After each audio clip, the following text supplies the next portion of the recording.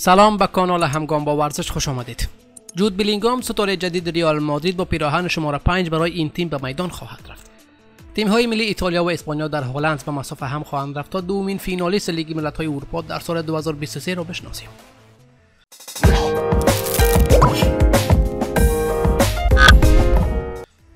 ریال مادرید در رقابت با باشگاه های بزرگ چون منچستر سیتی و لیورپول موفق شد نظر مثبت جود بلینگام را جلب کند و این بازیکن را به خدمت بگیرد. این ستاره انگلیسی با قرارداد به ارزش 103 میلیون یورو از دورتموند جدا شد و قرارداد 6 ساله با ریال مادرید به امضا رساند تا ستاره جدید این تیم لقب بگیرد. او ساعات قبل برای انجام تست پزشکی به باشگاه ریال مادرید رفت و این باشگاه با انتشار بیانیه اعلام کرد که تمامی تست ها با موفقیت انجام شده است. بلینگام سپس برای امضای قرارداد رسمی در کنار فلورنتینو پرز رئیس باشگاه ریال مادرید حاضر شد و در این مراسم بود که اعلام شد او از این به بعد قرار است پیراهن شماره 5 این تیم را بر داشته باشد.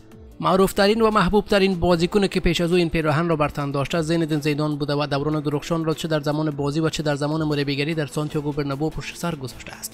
او حالا وارث بازیکن است که اهمیت بسیار در تاریخ ریال داشته و هواداران این تیم امیدوار هستند که بتواند از امانتدار خوب برای این پیراهن ارزشمند باشد. بلینگام در نشست خبری خود گفت. سلام هواداران ریال مادرید. می‌خواستم از همه کسانی که در مهمترین روز زندگی من و در اولین روز حضور در بزرگترین باشگاه جهان من را همراهی کردن تشکر کنم. می‌خواهم از جونی کلافات و خوزه آنخل سانچز یعنی مدیر اجرایی ریال مادرید تشکر کنم و البته از رئیس. از همه کسانی که تلاش کردن من را به اینجا بیاورند و از خانواده‌ام نیز تشکر می‌کنم. در نهایت زنده باد رئال مادرید. جود بیلینگام به گرانترین فوتبالیست بریتانیایی تاریخ تبدیل شد. این هافبک 19 ساله روز چهارشنبه پس از ماه مذاکره انتقال 115 میلیون پوندی را از بوروسیا دورتموند به رئال مادرید انجام داد و رکورد شکست او اکنون در صدر فهرست از بازیکنان نخبه از جمله جک گریلیش، هری میگوایر، جیدن سانچو و بن وایت قرار دارد که همگی خرج زیاد روی دست باشگاه های مربوطه خود گذاشتند. اکثر این ستاره ها قیمت سنگین خود را با عملکرد خوبشان توجیه کردند اما برخی دیگر برای تاثیرگذاری خیلی تقلا کردند. نشریسان بعدا مورد از گرانترین بازیکن بریتانیایی نگاه انداخته و وضعیت موفقیت یا عدم موفقیت آنها را بررسی کرده است. جود بیلینگام. اگرچه هنوز بیلینگام را در پیراهن ریال مادرید ندیدیم اما بازی های او برای بورسا دورتموند انگلیس تا حد زیاد ریکورد شکنی او را توجیه کرده است. این هافبک 19 ساله هنوز به اوج نرسیده و حداقل یک دهه بازی در سطح بالا را در پیش رو دارد. او در حال حاضر 24 بازی ملی بزرگتران انگلیس به همراه 124 بازی برای بورسا دورتموند از جمله برخی به عنوان کاپیتانی دارد بنابراین او با بازی در صحنه بزرگ هیچ مشکلی ندارد. جک گریلیش. این وینگر در سال 2021 با انتقال 100 میلیون پوندی از استون ویلا به منچستر سیتی پیوست. اگرچه در اولین فصل حضورش در اتحاد تلاش می‌کرد تا خود را پیدا کند اما از آن زمان به عنوان یکی از مهمترین بازیکن پپ گواردیولا شناخته می شود در این فصل او 50 بازی برای سیتیزن ها انجام داد و به آنها کمک کرد تا یک سه‌گانه تاریخی کسب کند. بنابراین منصفانه است که بگوییم مبلغ 100 میلیون پوندی او موجه بود. هری مگوایر مگوایر در سال 2019 با مبلغ 85 میلیون پوند که در آن زمان رکوردشکنانه بود به منچستر یونایتد پیوست. او از آن زمان تا کنون 175 بازی برای شیاطین سرخ انجام داده اما دوران حضور او در این باشگاه هم بد بود و هم خوب این مدافع در این فصل پس از عملکرد ضعیفش از نظر سرمربی جدید اریک تن‌هاخ ناموفق بوده و انتظار می رود که تابستان امسال با مبلغ بسیار کمتر از آنجا دور شود. جیدن سانچو. سانچو با انتقال 75 میلیون پوندی از بوروسیا دورتموند در سال 2021 به شیاطین سرخ پیوست.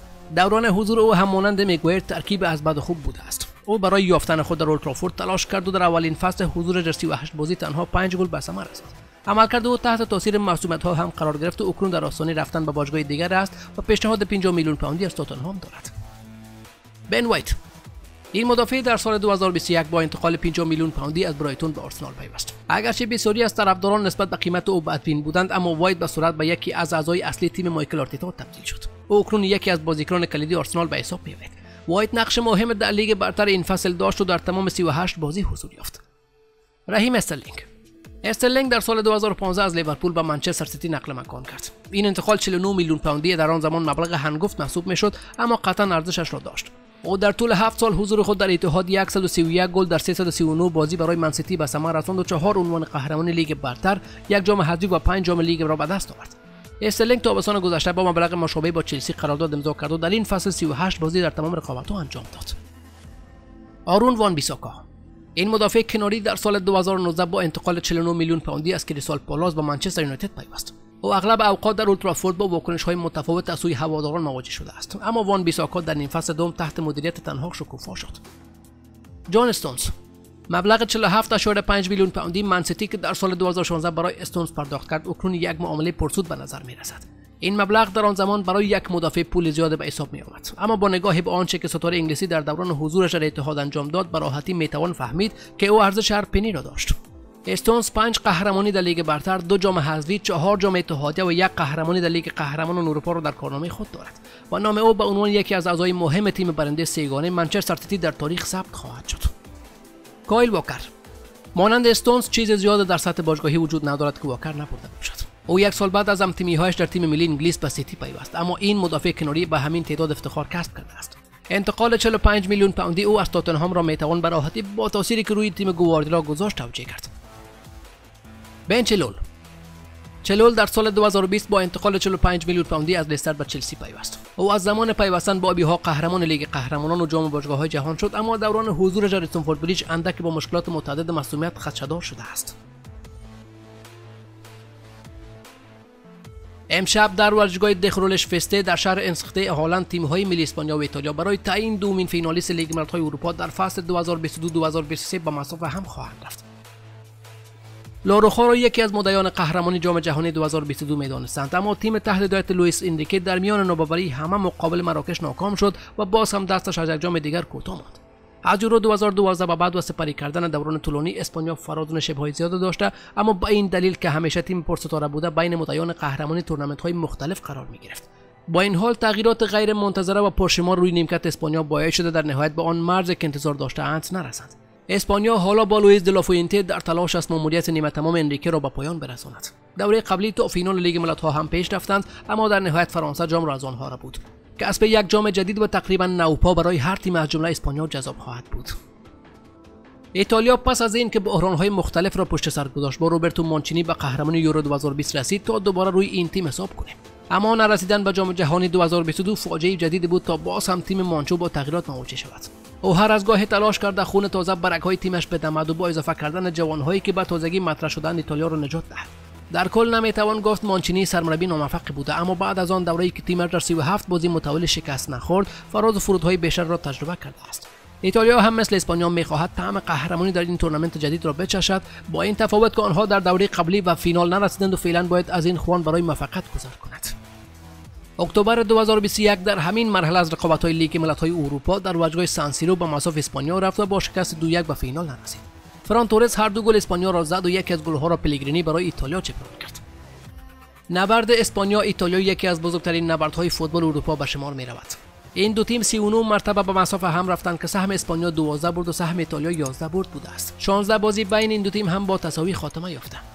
سال 1920 یعنی 103 سال پیش نخستین نبرد اسپانیا ایتالیا در المپیک برگزار شد که آن بازی را لاروخا با نتیجه دو 0 برد در رقابت های اروپایی اسپانیا هفت مرتبه به مساف ایتالیا رفته که دو برد داشته دو بازی را باخته و چهار بازی را هم مساوی شده است.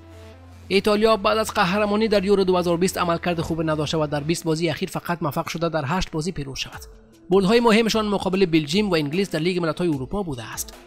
دو سال قبل بعد از اینکه ایتالیا رکورد شکست ناپذیری متوالی در فوتبال ملی را شکست و این رکورد را به 37 بازی ارتقا داد در 38مین بازی به اسپانیا باخت. این دومین حضور اسپانیا و ایتالیا در نیمه نهایی لیگ ملت‌های اروپا است. ایتالیا در دوره قبلی که میزبان هم بود به فینال نرسید و سوم شد. اسپانیا که به فینال راه یافت با شکست مقابل فرانسه به جام نرسید. اسپانیا در چهار بازی آخرش مقابل ایتالیا شکست نخورده است. از یورو 2016 به بعد که ایتالیا اسپانیا را در یک چهارم نهایی حذف کرد دو بازی را ماتادورها برده‌اند و دو بازی هم مساوی شده است. داوید گارسیا مدافع اوساسونا و نیکو ویلیامز مهاجم اتلتیک بیلبائو به دلیل مصونیت از لیست اسپانیا خط خوردند. ایتالیا با تمام قوا و بدون مصدوم به مساف اسپانیا خواهد رفت. سپاسگزارم از همراهیتان در پناه خداوند بزرگ باشید.